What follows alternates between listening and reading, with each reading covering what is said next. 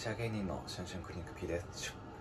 今日はですね学園祭で今から鳥取短期大学のシグナス祭っていうところに行くんですけれども吉本芸人が学園祭でいろんな地方に行く時って本当に行って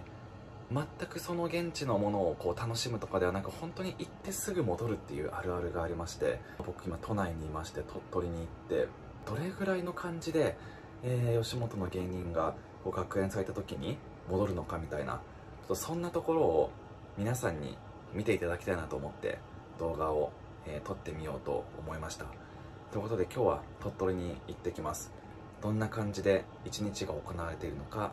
えー、皆さんぜひ共有してください。お願いします。この第1ターミナルか第2ターミナルっていつも迷いますよね。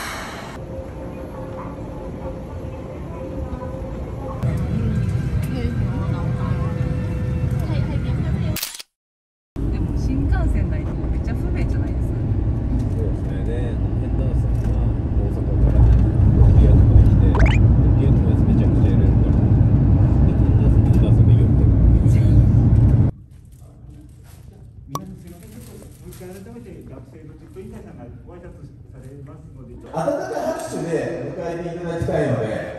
えー、拍手の練習をちょっと軽くしてもいいですかね。3、2、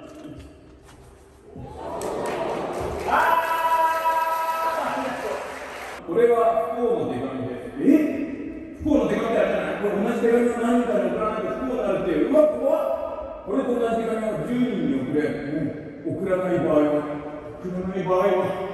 送らない場合は構わないそんだけそんだけが始まるよ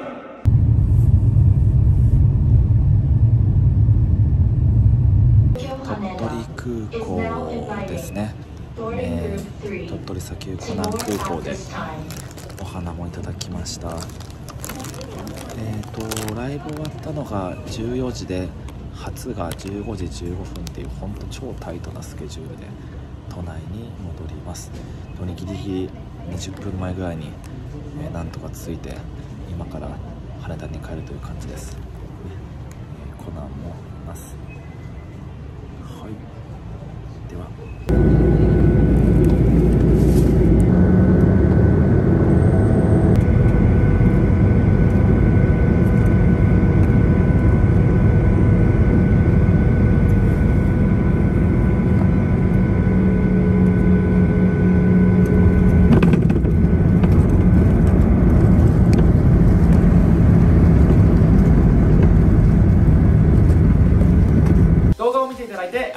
ざいます。ちょっとでもいいなというふうに思ったら、ぜひともチャンネル登録してください。よろしくお願いします。